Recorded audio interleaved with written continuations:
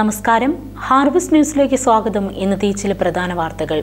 B J P പിന്തുണയോടെ ശബരിമല കർമ്മസമിതി നടത്തിയ ഹർത്താലിൽ സംസ്ഥാനത്ത് പരക്കെ ആക്രമണമുണ്ടായി. നിരവധി K S R T C ബസ്സുകൾക്ക് നേരെ കല്ലേറുണ്ടായി. മലയിൻ കീഴിലും നെടുമങ്ങാടും വൻ സംഘർഷമുണ്ടായി. മുഖ്യമന്ത്രിയുടെ അകമ്പടി വാഹനമിടിച്ച് രണ്ട് യൂത്ത് കോൺഗ്രസ് പ്രവർത്തകർക്ക് പരിക്കേറ്റു. സെക്രട്ടേറിയറ്റിനടുത്ത് മുഖ്യമന്ത്രിയെ കരിങ്കൊടി കാണിക്കുന്നതിനിടയിലാണ് പരിക്കേറ്റത്. ഫിലിപ്പീൻസിൽ കഴിഞ്ഞ ദിവസം കൊടുങ്കാറ്റിനെ തുടർന്നുണ്ടായ മണ്ണിടിച്ചിലും വെള്ളപ്പൊക്കത്തിലും മരണം എൺപത്തി അഞ്ചായി നാൽപ്പത് പേർക്ക് പരിക്കേറ്റതായും ഒരു ലക്ഷത്തി തൊണ്ണൂറ്റൊന്നായിരത്തി അഞ്ഞൂറ്റി തൊണ്ണൂറ്റിയേഴ് പേരെ മാറ്റിപ്പാർപ്പിച്ചതായും ദേശീയ ദുരന്ത നിവാരണ ഏജൻസി പറഞ്ഞു.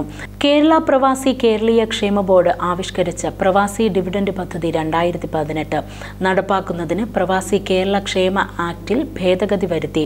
ഓർഡിനൻസ് പുറപ്പെടുവിക്കുന്നതിന് ഗവർണറോട് ശുപാർശ ചെയ്യാൻ തീരുമാനിച്ചു. പ്രവാസി കേരളീയരിൽ നിന്നും നിക്ഷേപം സ്വീകരിക്കുന്നതിനും ഈ നിക്ഷേപം ഉപയോഗിച്ച് കിട്ടുന്ന തുകയും സർക്കാർ വിഹിതവും ചേർത്ത് നിക്ഷേപകർക്ക് പ്രതിമാസം ഡിവിഡന്റ് നൽകുന്ന പദ്ധതി നടപ്പാക്കാനും ഉദ്ദേശിച്ചാണ് നിയമ ഭേദഗതി ചെയ്യുന്നത്. അനധികൃത താമസക്കാർക്ക് രേഖകൾ ശരിയാക്കാനും രാജ്യം വിടാനും അവസരമൊരുക്കി യു എ ഇ സർക്കാർ പ്രഖ്യാപിച്ച പൊതുമാപ്പ് വൻ വിജയമായി. കുടുംബങ്ങളും കുട്ടികളും ഉൾപ്പെടെ പതിനായിരക്കണക്കിന് പേർ ഇത്തവണ പൊതുമാപ്പ് പ്രയോജനപ്പെടുത്തിയത്.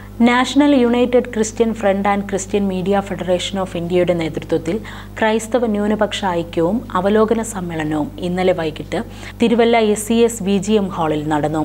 സമ്മേളനത്തിൽ ദേശീയ ന്യൂനപക്ഷ commission vice chairman Shri George Kurian മുൻ Rajya Sabha deputy speaker professor P J Kurian ഇതര സഭാ അധ്യക്ഷർ തുടങ്ങിയവർ പങ്കെടുത്തു. ഇതോടെ ഈ വാർത്താ ബുള്ളറ്റിൻ അവസാനിക്കുന്നു. നമസ്കാരം.